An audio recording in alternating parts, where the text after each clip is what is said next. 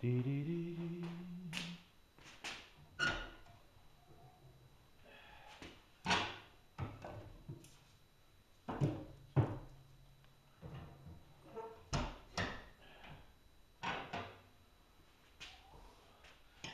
everyone, welcome.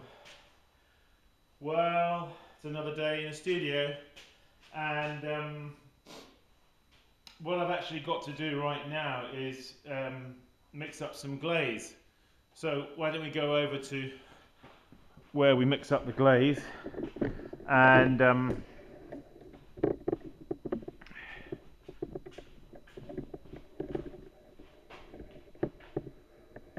and we can talk about we can talk about that.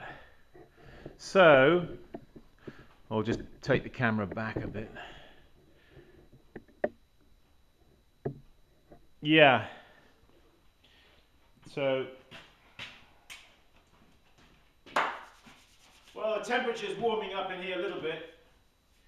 Um, just wanted to talk a little bit about mixing glaze and and uh, you know I know a lot of a lot of people they mix you mix up your own glaze. You, sorry, you you buy your glazes, don't you? And uh, it's actually much better to mix up your own, and you save yourself a lot of money. So I'm just going to run through what what you're going to need to um, to mix up your own glazes, and for that maybe we will come a little just a little closer. So as you can see there on the bench I have got, um, you're going to need a couple of these buckets. Alright? Get yourself a couple of buckets. You're going to need a sieve. You're going to need a, a container such as this. You're going to need a uh, a balance, a weighing balance. I use a smaller scoop, this I use as a scoop to scoop out. You're going to need your, your glaze recipe and you're going to need a pencil because as you're going to put these ingredients into the bucket you're going to tick them off one by one as they go into the bucket. Not until, I might add. Let me just show you here underneath my glazed bench. Down there on the floor, you'll see I've got more buckets, which where where I keep my raw materials. You see, and I write write on the lid what it is, and also write on the bucket what it is. So this is whiting, and I have it written in two places on the bucket and on the on the lid. And this is here is spodumene, and it's written there, and it's written there. And this is whiting, and it's not written on the lid, and it should be. I've got a note inside here saying whiting, but Actually, I've got another one for whiting somewhere, I think. Yeah, here, this one. So, again, this one is EPK. Well, you might you might think, well, why is he talking about that? You know, well, uh, get on with it. We don't want to hear about your buckets. We want to hear know about how to make the glaze up. But I'm just trying to tell you, you know, that there's it's very important to know what your raw materials are and it's very important that they are clearly marked. Trust me, it is important. and um, I am one who has made many mistakes mixing up glazes because I got confused about the glaze uh, ingredients or the bucket or so on. In fact, in fact, you know why? You know why I'm making this glaze up now? That's because I made a complete hash of making it up before in this bucket here. In fact, I had half a bucket of Temmoku glaze there, and I I thought I'll just make up a half a batch and add it to the bucket to make it up to a, a bigger bucket, you know, a larger bucket full. But the second, the second batch that I added, I some somewhere along the, the line, I got confused with the ingredients, and um, I put the, I, I did the recipe wrong. So when when the when the pots came out of the kiln, the temmoku was not as as it ought to be.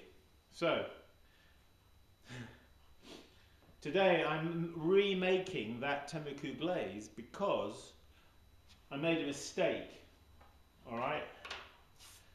It's not the first time I've made a mistake, I tell you. It's very, very easy to make a mistake when you are mixing up a glaze. That, therefore, therefore.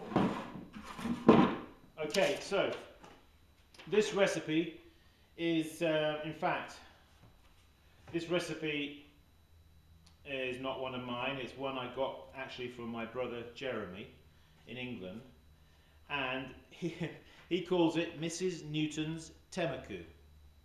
And he swears that it's better than it's better than father's Temmoku that we used to use at home in the, in the studio, you see.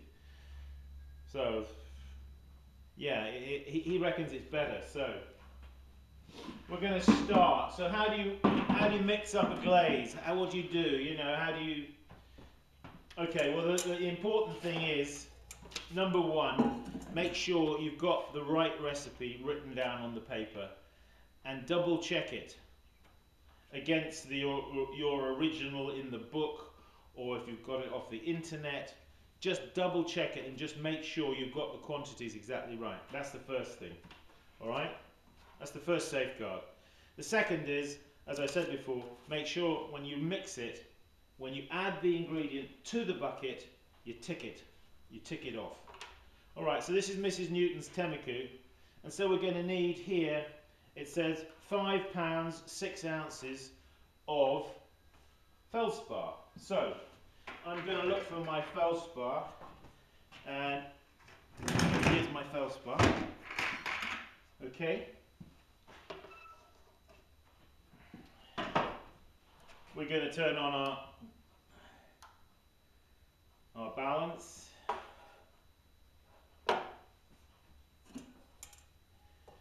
And with these kind of digital balances, you know, you can turn them on and then you can put the the container on top there and then and then zero it.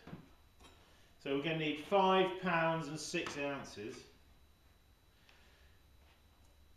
Now, many of you probably are thinking to yourself, well, Simon, you shouldn't be doing this without wearing a mask. and you're right. I should, I should be, I should be wearing a mask. But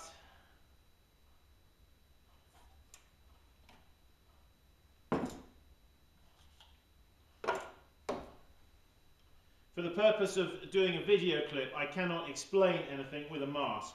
So I'm just going to be I'm just going to be careful, okay? And try not to make too much dust. You know, you can use your common sense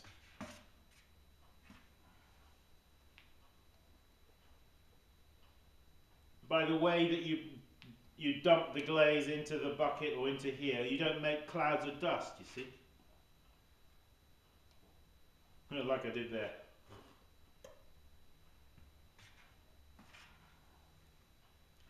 So I want five pounds and six ounces.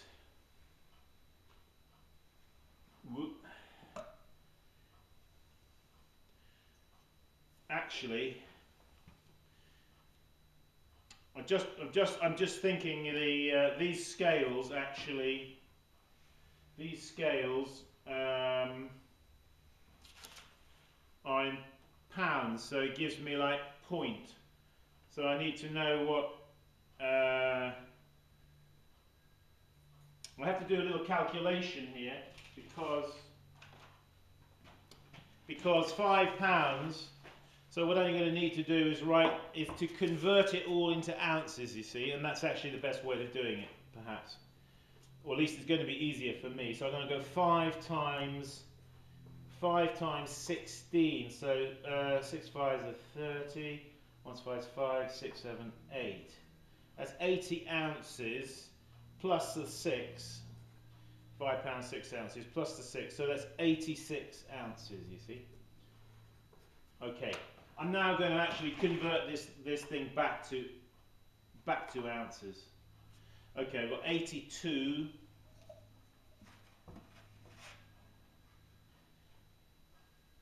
86 ounces okay I've got the 86 ounces. Okay now we're going to put the 86 ounces of feldspar carefully the bucket. And I put it into the bucket, so the next thing I've got to do, I've got to tick it off the list, you see. Very high tech. Okay, I can now dispense with the feldspar. Put that back underneath. Are we in the picture? Are we in the picture? Oh, not really quite in the picture, are we? Well, okay. There you go. So, next. What have we next? China Clay. EPK, come my way. Here's the EPK, you see. So what we need now is one pound eight ounces. Okay, I'm to try and keep the dust down.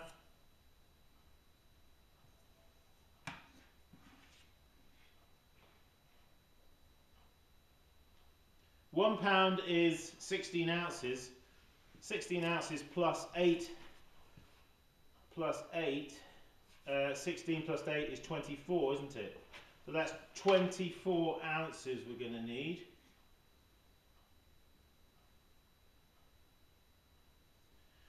Now, for those of you who, who, who are, are scared to make up your own glazes, what, what is different about this than if you were in the kitchen mixing up ingredients for a recipe, okay? So now I'm going to put in the china clay and, and we're going to tick him off, you see. Right. China clay. Put the china clay out of the way. The next thing we're looking for is whiting. Whiting. Who knows what whiting is? Whiting is calcium carbonate. So, whiting. You see, it's just a case of being methodical, isn't it? Okay, now I need one pound 12 ounces. So that's one pound, so that's 16 plus 12 is uh, 28. Right, 28. 28 ounces of whiting, please. Not very frightening is whitening, whiting. Oop, I put in too much. 28 ounces of whiting. There it is. 28 ounces of whiting into the bucket. Okay, let's let's tick him off. Now we've got zinc oxide. Now I've got a very small packet here of zinc oxide, okay? And we're going to need four ounces. Well, that's not a big deal, is it? Four ounces.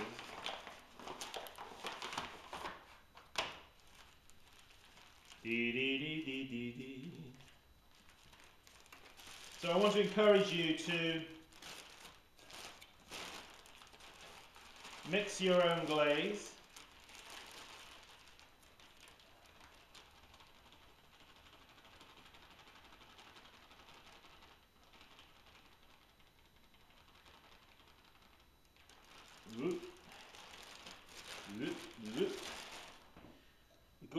Fraction too much there.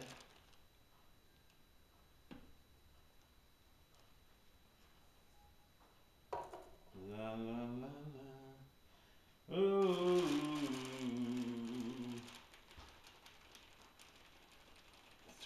Oh, there we are, four ounces.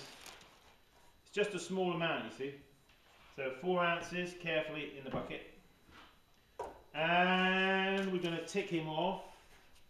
Tick him off. Right, next we've got flint. Flint.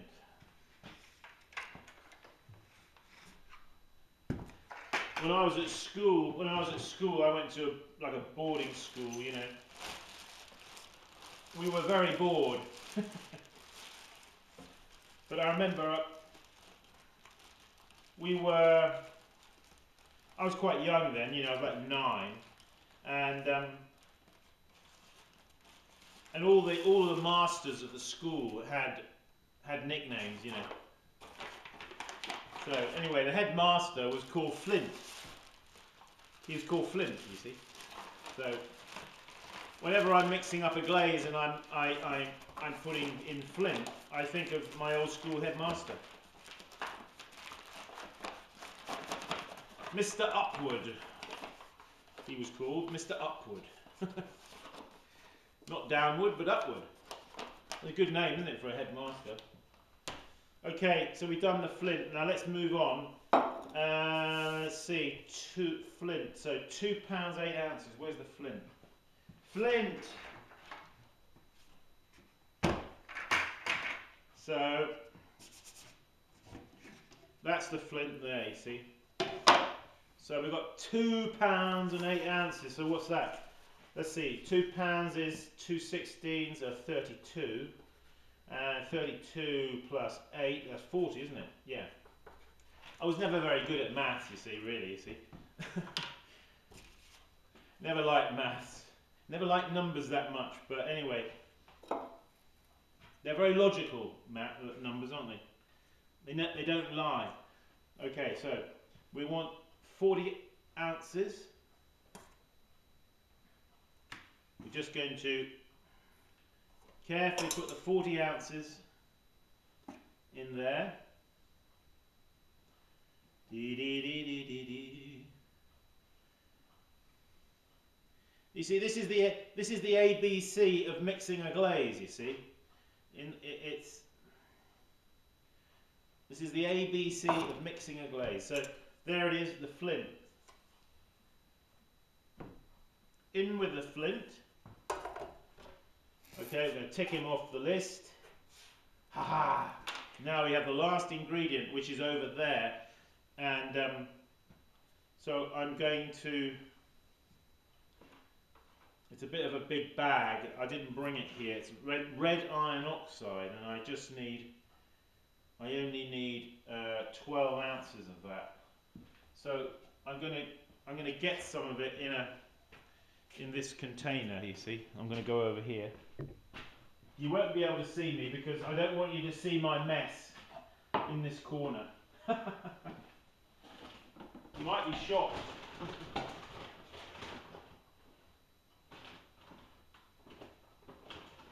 so what I'll do, I'll grab here I'll grab I'll grab a scoop of this red iron oxide. Isn't it a lovely rich colour? Alright, well that's actually going to be more than I need. I need actually 16, 1 pound 2 ounces, 16, 17, 18 ounces only. So I'm just going to carefully weigh out 18 ounces.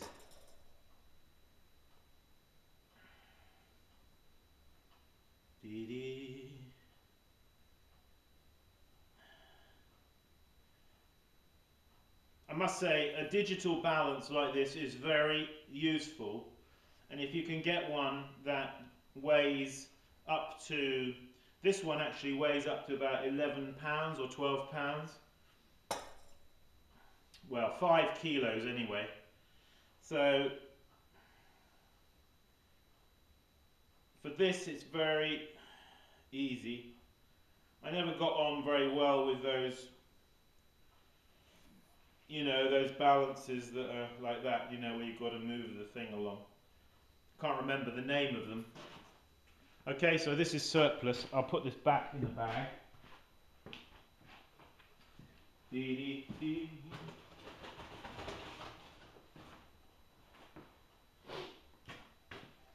Course, the thing with red iron oxide is it's like it stains everything, doesn't it? You can get it on your hands and got to. So that's the last. That's the last ingredient. All right, um, we're going to tick it off the list. In no uncertain terms, you see, because yeah, I've got a bucket, nearly a full bucket of glaze over here, which is wrong. So then I've got to think to myself, well, what am I going to do with that? You know. Okay, so we've got all of the dry ingredients. We've just got to lastly put the red iron oxide here.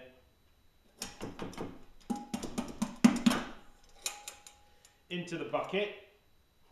Turn off the, the balance.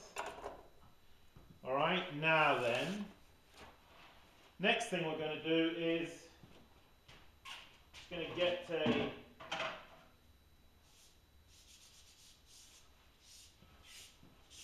I'm just going to get this stick here and I'm just going to give this slowly, carefully, so I don't raise the dust, you see. I'm just going to give it a dry mix, okay?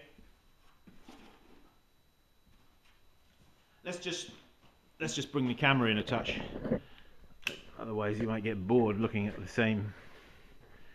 Let's just bring it in here. You see. So you, see the ingredients in here, and I'm just giving these a just a gentle. I'm bearing in mind that I'm not wearing a mask, so I'm just trying to do this a little bit,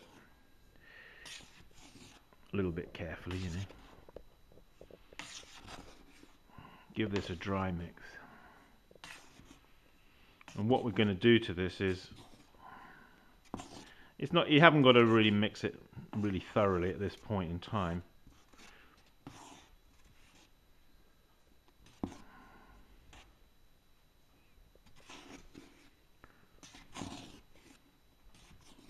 This actually, this recipe is just for half a bucket, you see.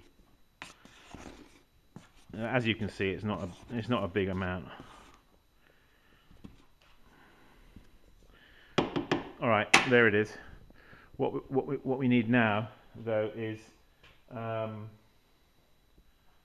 we're going to need some we're going to need some water aren't we?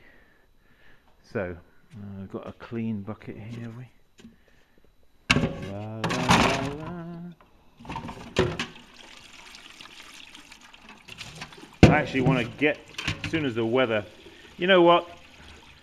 Today's a good day. We've actually got running water because you know for many days this has just been frozen up here and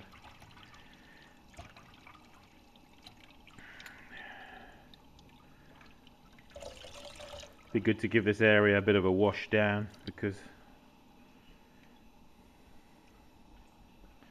la la la. Okay there's I bought these actually these um,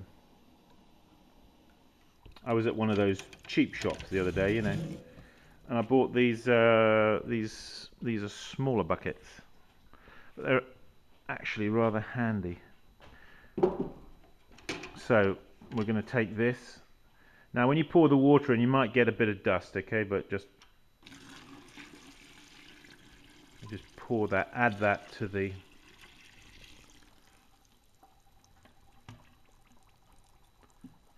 I love that bub bubbly noise. Do you like that noise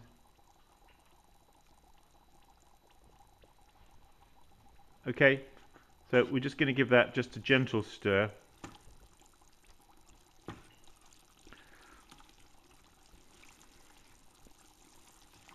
The next thing with this is actually is, is to just leave it, okay?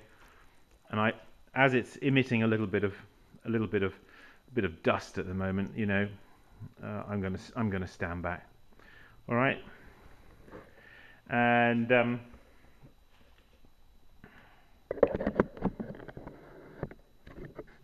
what we what we're going to what we're to do now let's just move move the camera this way a bit so I don't have to stand there um, sniffing in the dust.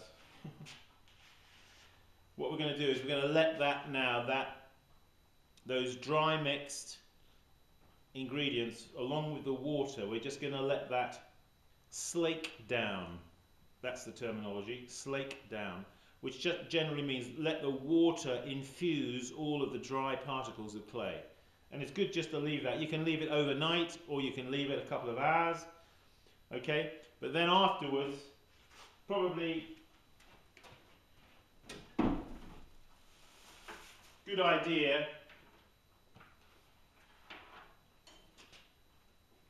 if you don't have one of these, it's a good, good idea to get one. Having said that, we never had one when I was working in the pottery for my dad.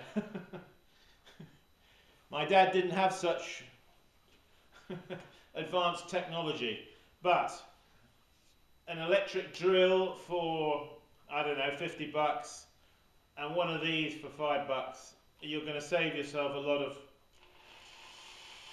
a lot of trouble, a lot of time and energy mixing up mixing up your mixing up your glazes.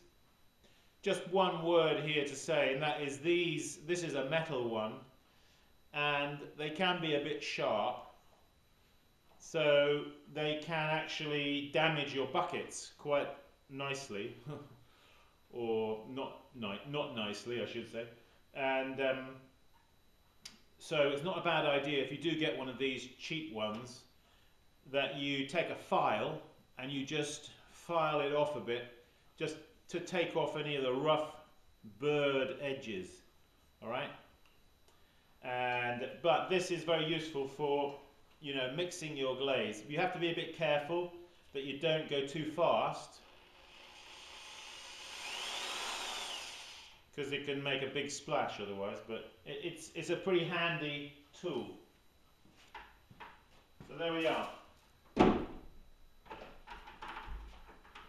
The next, the next thing though that I have to do, all right, the next thing that we have to do, um, now that that glaze is finished effervescing, making that dust, the next thing we have to do is is to when that has slaked down nicely okay we're going to scoop it out of here and it's got to be sieved through this sieve into the bucket. Um, this this sieve is an 80 80 mesh but you can use a 100 mesh. I like an 80 mesh because it goes through quicker And I think 80 mesh is actually probably okay. Uh, but you can use 100 mesh. Um, before you put the glaze through the sieve, don't make it too watery. You can add a bit of water as you go. So make it like a, a sort of thick, a thick cream consistency and then have a jug of water on the side and you know, as it's going through the sieve, um, just add a little bit of water. You can also um, hang on a moment, let me just see. I'm looking for something. Can't find it. But you can use a you can use an old credit card to help push it through the sieve, or you can you can use one of these. I find these probably about the best to be quite honest. So pour the glaze in and just you need a bit of patience. Just work the work the the glaze till it goes through. If it seems a bit reluctant, just add a little water, but very little, just to help it, okay? Until you've got it all through.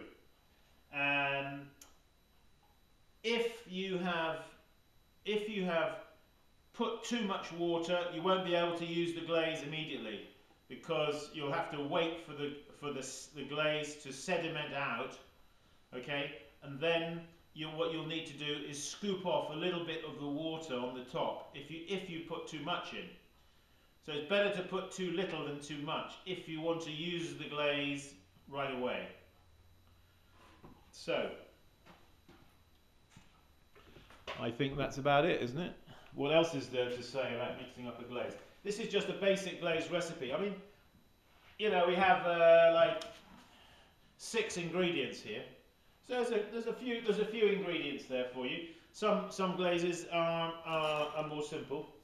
Um, so have a go mixing up your own glaze. Don't be frightened of it.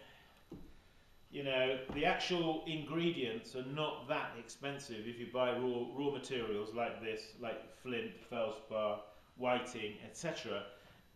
You know, you, you can afford to make a mistake, is what I'm saying. It's not going to break the bank if you do it wrong. And um, so have a go. And and good luck with that. Yeah. I'm going to be in the, in uh, Tucson, Arizona, at the Southern Arizona Clay Artists, in conjunction with the Romero House Potters on April 13th and 14th. So if you're from that neck of the woods, uh, go to the SA uh, CA Southern Arizona Clay Artists website. I think you probably get details from there. Um, I think they may have a few spaces. So, that's all, folks. Other than to say, get stuck in and mixing up your own glaze and keep practicing. It's the only way. Bye bye now.